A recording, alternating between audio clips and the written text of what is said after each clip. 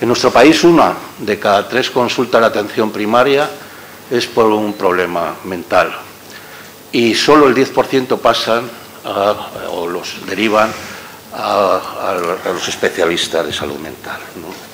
Según la OMS, ninguno estamos exentos de tener una enfermedad mental a lo largo de nuestra vida. Todos podemos tenerla. Y las situaciones actuales pues no, no ayudan nada. Hemos pasado prácticamente dos años de pandemia. En el momento de la pandemia pues, se han hecho muchos estudios y se ha detectado un aumento de, de todo, de ansiedad, sobre todo depresión, estrés psicológico, estrés postraumático, etc. Aquí en el hospital, una vez pasada la fase aguda, pues se han empezado a detectar síndromes neuropsiquiátricos. ¿no?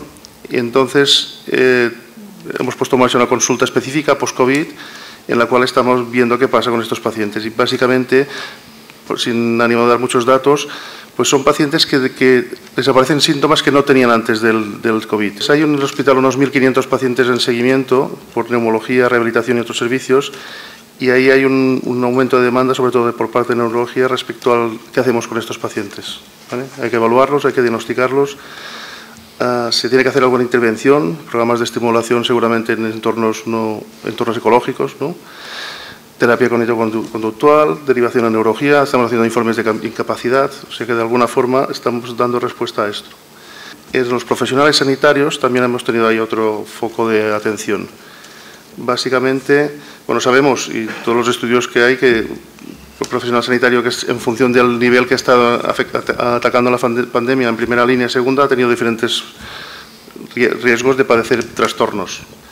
Cuanto más contacto con paciente infectado, antecedentes de psiquiátricos, cuarentena prolongada o, falta, o sensación de apoyo de falta organizacional, pues incluso también el estigma social, ¿no? el paciente que el personal que está trabajando en COVID y después los vecinos no se acercan por si acaso. ¿no?